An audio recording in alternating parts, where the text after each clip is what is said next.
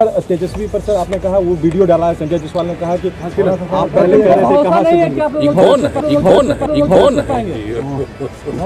है। किनके बारे में कह रहे हैं किनके बारे में कह रहे हैं किनके बारे में कह रहे हैं। संजय जायसवाल क्या है? कह रहे थे कि नौकरी देने पर उनको भरोसा नहीं सत्तर के दशक का रिकॉर्डर आपको बताया है।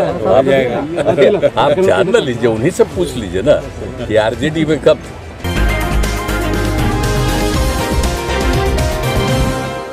बिहार के मुख्यमंत्री नीतीश कुमार बीजेपी के निशाने पर अमित शाह ने मंगलवार को सीएम नीतीश कुमार पर तंज कसते हुए कहा था कि वो सत्ता के लिए पाँच बार पाला बदल लिए और कांग्रेस की गोद में बैठ गए। इसके बाद बिहार बीजेपी के प्रदेश अध्यक्ष संजय जायसवाल ने नीतीश कुमार का रिकॉर्ड प्लेयर से तुलना कर दी। साथ ही नीतीश कुमार का एक पुराना वीडियो जारी कर मुख्यमंत्री को कटघरे में खड़ा भी कर दिया। वीडियो में नीतीश कुमार तेजस्वी यादव पर तंज कसते हुए कह कह रहे हैं कि सीएम नीतीश ने तब कहा था कि वह नौकरी देने की बात कर रहा है, वह पैसवा कहाँ से लाएगा? क्या जिसके लिए अंदर गया था, उस, उसी पैसवा से होगा?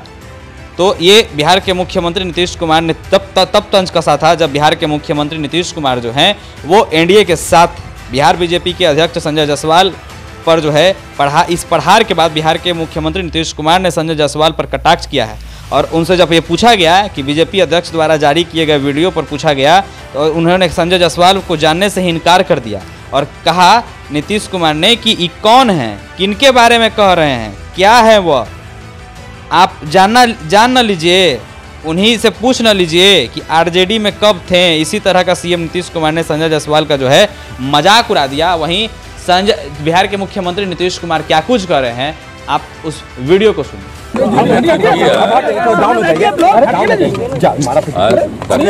लोहिया जी की पुण्यतिथि है और उस समय तो हम लोग बिल्कुल छात्र थे। कॉलेज में पढ़ ही रहे थे उसी समय उनका निधन हुआ था। हम तो जब यहाँ हम पढ़ते थे तो उनका निधन के पहले आकर के इनका भाषण भी हुआ था। हमें छात्र के रूप में इनकी बात सुनने आए थे। और जब हम बच्चे रहे हैं उस समय भी अखबारों में इनके बारे में पढ़ते रहे हैं।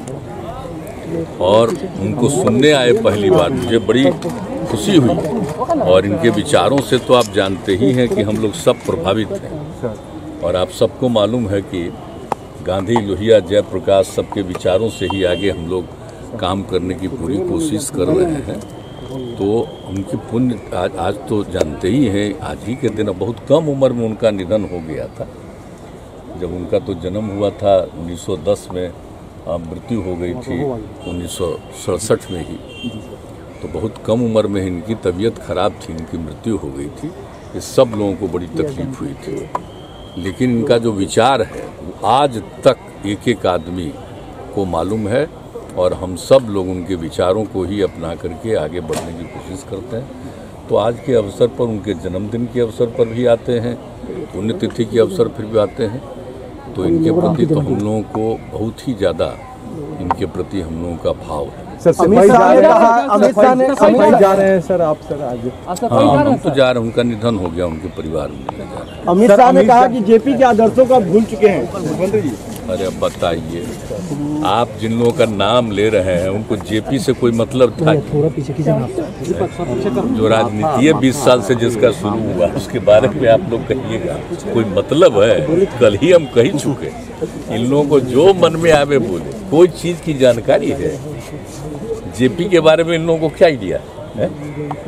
इन्हीं चीज़ के बारे में कोई आइडिया है जी? कोई मतलब है? कब से राजनीति में आए पता है ना? देख ना लीजिए, आज जो मौका मिल गया है इन लोगों को, आज जिसको मौका मिल गया है, अब हम करें क्या? आप लोगों को कुछ बोल सकते हैं, बोलिए। वो हमारे खिलाफ बोलते हैं। दिल्ली के सारा अंग्रेज़ी के अखबारवा में पूरा छपा हुआ। हाँ हम लोग से पूछिएगा कोई छपेगा। इसलिए क्या ज़रूरत है? जो मन में आवे बोल दीजिए। लेकिन क्या मतलब है? कोई जानकारी है? जेपी से कोई रिश्ता रहा है, है? हम लोगों का क्या रिश्ता रहा है सबको मालूम नहीं है। उन्हीं के नेतृत्व में काम हुआ। जेपी मूवमेंट आप सोचिए। किस तरह से? और किस तरह से हम सब लोगों का उनसे एक लगाव था?